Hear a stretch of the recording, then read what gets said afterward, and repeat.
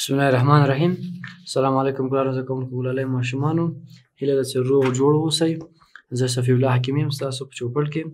نن به موږ تاسې نوی څپرکی شروع کړو نن به موږ تاسو عام کسر ولولو د کسر په مطلب مو ښه پوکم او تاسو د دوه درسو دویستمه برخه ده کتابونه به مو در سره وي ستاسو د شپږم ټولګي ریاضي به مو تاسو اوس لولو ښه تاسو د کتاب هم درویشتمه پاڼه ده عام او احشاری کسرونه ګرانو زکونکو تاسو پوهیږئ چې کچېرې یو واحد یا یو شی په څو مساوي برخو وویشل شي او د هغه څو یا څو برخې واخیستل شي نو هغه عدد چې د هغه ښکارندوی دی عام کسر دی هغه عدد چې ویشل شوی ویشل شوی برخې ښیي د عام کسر مخرج او هغه عدد چې اخیستل شوی برخې ښیي د کسر صورت بلل کیږي د صورت او مخرج ترمنځ یو خط دی چې د کسری خط په نامه یادیږي او د صورت او صورت د مخرج څخه جلا کوي تاسو اوس مثلا یو ژوندۍ مثال په نظر کې ونیسه تاسو یو ډوډۍ مو واخیستله کنه یو ډوډۍ مو واخیستله اوس تاسو وایئ چې ما سره یو ډوډۍ ده او که چیرې دوه واخلئ بیا وایي چې ما دوه ډوډۍ واخیستلې او مثلا همدارنګه هګۍ یا هر شي مکمل ډول یې حسابولی سئ دوه درې څلور پنځه شپږ اووه اته نهه لس یولس دولس خو که دا ډوډۍ تاسې اوس وویشئ په دوو برخو وویشئ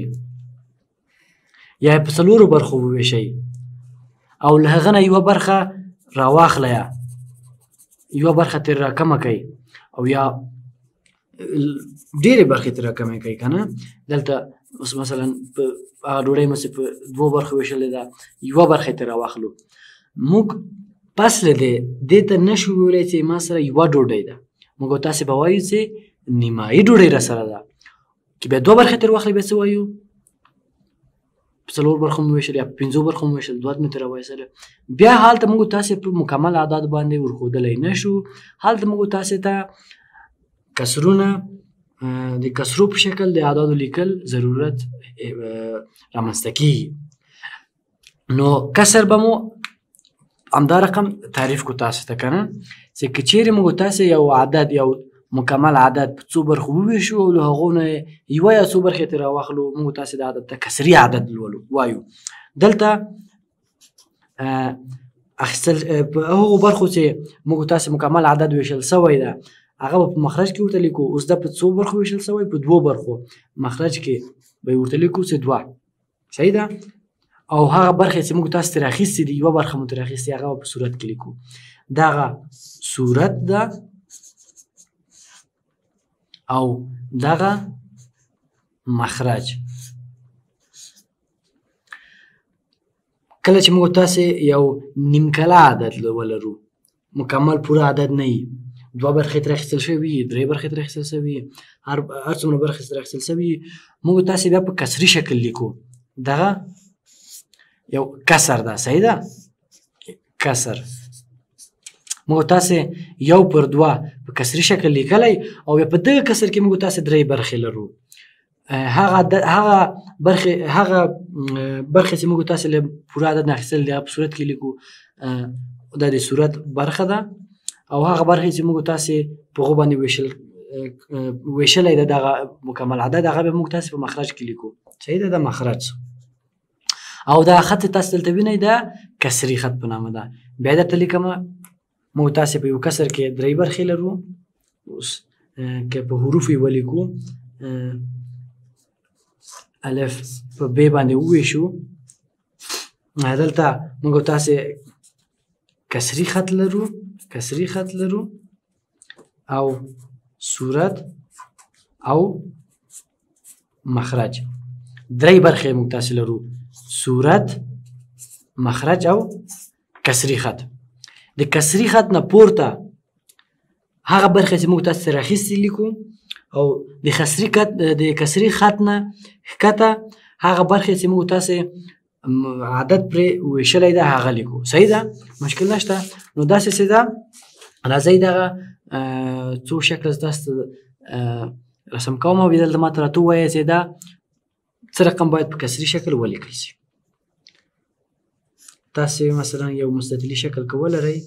او بیا په اتو برخو وویشئ درې یو دوه درې څلور پنځه شپږ اووه اته په اته برخې مو وویشئ او له دې اتو برخو نه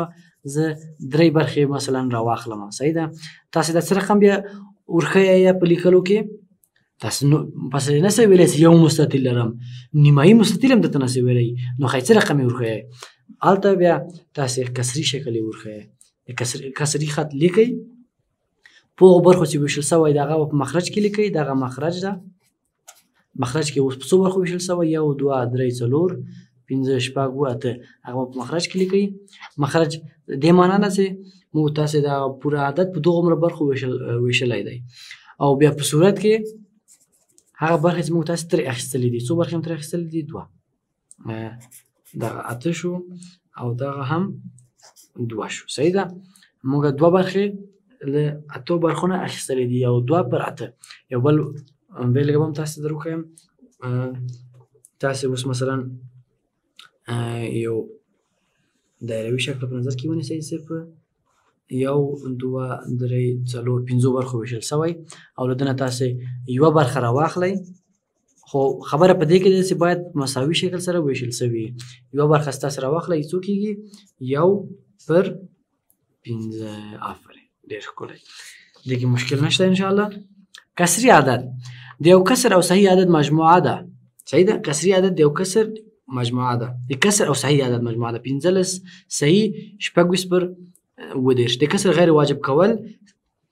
صحیح عادت په مخرج کې ضربو او له صورت سره صورت سره جمع کوو او اصل پر هغه مخرج لیکو موږ تاسو دلته د غیر واجب کول طریقه هم تاسو ته درخیو کچېره اوس تاسو ولرئ چې 15 ډوډۍ او د شپږ د شپږمې ډوډۍ مثلا دوه پر اتمه برخه اوس تاسو مثلا یو عدد ولرئ چې 15 صحیح دوه پر څلورو یا دوه پر دریو تاسو پنځلس ډوډۍ لرئ او شپاړسمه ډوډۍ مو دوه برخې له درې برخو نه اخیستلې دي نو هغه به داسې تاسو ورښیي چې پنځلس صحیح پنځلس صحیح دوه پر دریو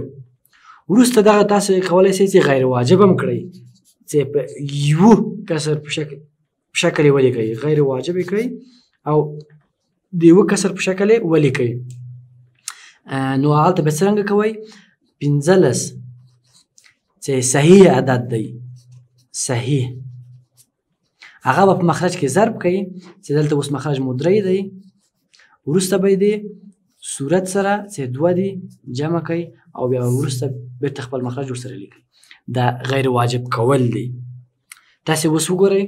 15 ضرب 3 څو کېږي 45 45 جمع 2 څو کېږي 40 40 په 3 کې دا یو غیر حقیقي عدد ده موږ ما تاسو ته مخکې وویلې چې په مخرج کې هغومره برخو باندې چې ویشل سوی دی عدد او په صورت کې هغومره برخې چې موږ تاسو ته راخیستې دي که چېرې موږ تاسو یو عدد ولرو چې درې برخو باندې وویشل سي او اووه څلوېښت برخې ترې واخلئ داسې یو عدد تاسې پیژنئ نه نو ځکه موږ تاسو ته غیر حقیقي عدد وایو په راتلونکي درسو کې به تاسو بیا په غیر حقیقي عددو باندې نور معلومات هم درکړم نو دلته و څلوېښت په دریو کې دا واقعي عدد نه دی غیر واقعي عدد دی خو او خبره په دې کې ده چې موږ تاسو دلته غیر واجب کول طریقه زده کوو یو بل مثال هم تاسو ته ولیکم دوه سي پنځه پر و اوس مثلا تاسو وګورئ دوه سي پنځه پر و دا دا معنا ورکوي چې موږ تاسو دوه ډوډۍ لرو دا مکمل عدد ده خو درېیمه ډوډۍ مو په اوو برخو ویشلې ده ډوډۍ یا اندوانه یا هر شی چې مو په برخو ویشی مڼه وي هر شی چې نو دوه سي پنځه پر و پر وو په شکل لیکي خو تاسو کولای شئ چې غیر واجب کړئ او په یو کسر په شکل هم ولیکئ دلته کچې لمو تاسو نه غیر واجب کول وغوښتل شي د عادت موږ تاسو صحیح عادت چې دوه ده هغه په مخرج کې ضرب کوو او بیا د صورت سره جمع کوو ورسته بیا مخرج خپل لیکو دوه ضرب دی و 14 14 د 15 سره جمع کو کیږي 19 تقسیم په و مشکل نشته ډیر ښه بل د کسر وا... د غیر واجب کول برعکس لاره چې هغه ته د کسر تصحیح کول دی وایو موږ تاسو ته که غیر واقعي عدد راکړي پنځلس مثلا اووه څلوېښت تقسیم په درې او له موږ تاسو نه وغواړي چې دا عدد بېرته تاسې د بیرته تصحیح کړی او په واقعي شکل ولکه بیا تاسو موږ بیا کوم په کوم شکل سره هغه کار کولای شو موږ تاسو به بیا له تقسیم نه ګټه اخلو اوس مثلا تاسو ته کړه توای چې وویشت مثلا وویشت په څلور باندې چې غیر واقعي عدد ده په تصحیح کړی تصحیح کول تصحیح کړئ موږ نو تاسو نه غوښتل چې دوه وویشت پر څلور باندې وویشت پر څلور باندې تصحیح کړئ نو موږ تاسو وویشت پر څلور باندې تقسیموو او خارجه قسمت او باقی مانده راخلو ښه وویشت په څلور باندې چې وویشو څو ورسیږي شپږ څلور دی څلور ویشت و څلور دی اته ویشت نو شپږ څلور دی څلور ویشت ونه سه څلور لړ سي درې دونه سه دوه لړ سي صفر درې پاتې شو دلته اوس موږ تاسو خارج قسمت د صحیح عدد په شکل لیکو پاتې عدد یا باقی مانده په صورت کې لیکو او مقسوم علیه په مخرج کې ګورئ مقسوم علیه مخرج کې پاتې عدد او یا باقی مانده صورت کې او خارج قسمت بیا د صحیح عدد د صحیح عدد په شکل لیکو صحیح ده مشکل نشته یو بل مثال به تاسو ته حل کړم مخکې مو تاسو وڅلوېښت په درې باندې وویشه هغه به تاسو ته بیا دلته صحیح کړم چې توپیر تاسو ته معلوم شي کسر و غیر واجب کول او تصحیح کول وڅلوېښت تقسیم پر وویشت دریو ښه دا موته څنګه تصحیح کولی شو اوه څلوېښت تقسیم پر دریو یو ضرب دی دریو درې څلور نه درې لاړ سي یو وراکوزو ولس پنځه درې دی پنځلس شپږ درې دی اتلس نو پنځه درې ضرب کوو پنځلس پاتې سو دوه دا څو سو خارج قسمت د صحیح عدد په شکل لیکو پاتې عدد بیا باقی مانده د صورت په شکل او په مخرج کې بیا مخروج خارج قسمت بیا مقسوم علیه لیکو پنځلس دا د صحیح کولو طریقه ده اوس راځي د امتحان په ډول غیر واجب کو بیرته صحیح کولو طریقه دلته پنځلس صحیح دوه پر درې به بیرته غیر واجب کو غیر واجب